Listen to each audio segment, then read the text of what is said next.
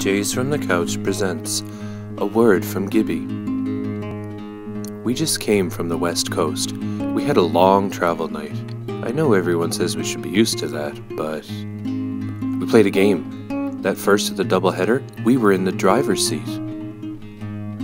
We coughed it up. These last seven games, we were really in a position to win just about all of them. I will say one thing.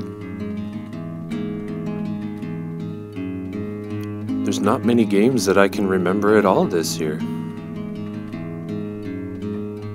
Now that we started to play a few of them.